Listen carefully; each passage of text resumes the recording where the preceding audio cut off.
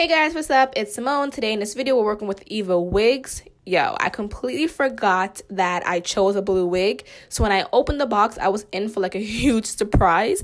But it was actually a very pretty color and it matches my headboard, which is, I wasn't going for that look, but ended up being cute. So I went ahead and I styled this wig. I did this video for two days because the first day I went ahead and I put it on my head, but then the lace was just way too light for my skin color. So if you are dark skin, you are definitely gonna have to go ahead and tint your frontal because it was so light that I had to um un re unapply unapply it.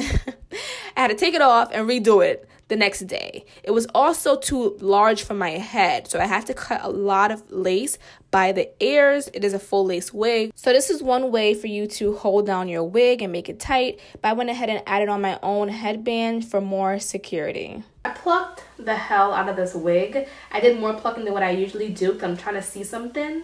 I love the hair on it, but I just feel like, to be honest, this lace is not laying and the lace is way too white. So then I tried a different method. I went ahead and did the stocking cap method. And you guys know how I feel about the method. And if you don't, you guys know I hate, hate, hate, hate stocking caps. Okay, it is just not my thing. I am not a fan of it. Ugh. But um, the lace that I have on today, I recorded this entire video about two days ago, but the lace was just not agreeing with my skin color. I just think it was too white. It was just, yeah. Do I want to do this to myself? Yeah, the only spray that I have right now is this Tresemme one, and I'm pretty sure it is not going to hold. It holds hair, but I don't if it's going to hold the stocking cap.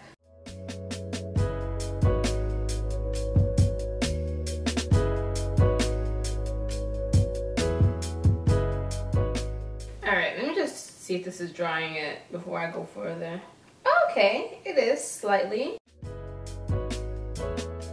And in case you guys missed what kind of hairspray I'm using, we are using the Tresemme hairspray extra hold, all right?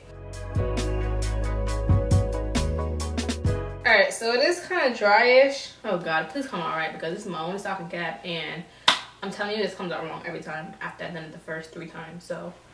So I went ahead and I cut the excess stocking cap off. Oh gosh, guys, this process is very tedious and it took forever. So this will probably be my last, last, last time doing it. I swear. So clearly there are still like loose pieces right here. Now, I've seen people stop right here where literally this little roll up piece is still there. You don't want that to still be there. You know why? It's gonna show up the lace okay? Anything that looks like imperfections under like right now is going to show under your lace. So always remember that i think a lot of people forget that and that's kind of like very important. I'm gonna go ahead and just trim it a little bit closer.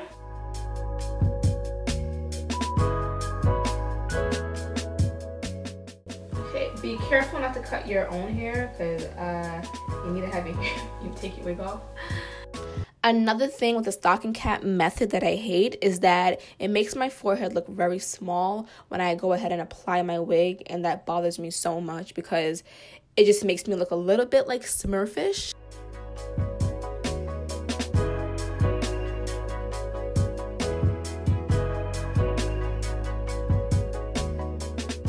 I really didn't want to use a liquid foundation because, uh, yuck. I kind of wanted to use my powder, but my uh, my black radiance, my black radiance has been up ever since. I don't know, it just broke on its own. I just want to see if it's gonna work. This, come on, I was all on my scalp. Yuck.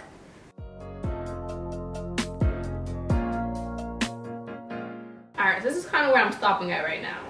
All it does is rain in Georgia. Rain, rain, rain, rain. But because I have my headband on and it's really tightened, I'm not gonna go ahead and gel the whole, you know what, maybe I might. So for this part, I went ahead and I sped it up because I pretty much just went ahead and Got2b glued it down and it stuck. Now the issue I've been having lately is the part by the ears. So you will see it lift as I am putting my hair into a ponytail because I will go ahead and fix that part after. Alright, so you probably like why am I turned around? So this is gonna kind of be like a faux, a faux way of doing a ponytail. So for some reason the back of this ponytail is just so loose. I don't know what it is. I think the wig was made for a big head. I really do. I don't think it was made for a small head. So there's no point in trying to gel this down. So a quick way of, sorry, a quick way of doing it is I'm going to go ahead and use these bobby pins. What I'm going to do is take a bobby pin. I'm going to, this lace right here, I'm going to kind of poke a hole in the lace and kind of just pin it under. Alright, it's like my full way of doing this. I'm going to kind of stretch it out by pulling it and just tucking it right under so that it looks like it's glued but it's not. And then the sides, you can probably see the headband still. So I'm going to take a little piece of the lace, a little piece, and poke it through, push the pin through. Might be hard at first. And just poke it under. okay? Sorry if it's out of focus, guys. I'm turned around so I can't see what's going on in the back. Poke a hole through the fabric. Alright, so it kind of looks like that. Again, ignore the sides. I'm going to go back and re-gel this down. I think all the tugging on it while it's still trying to dry is um, making it not stick. So And I'm going to use my hot comb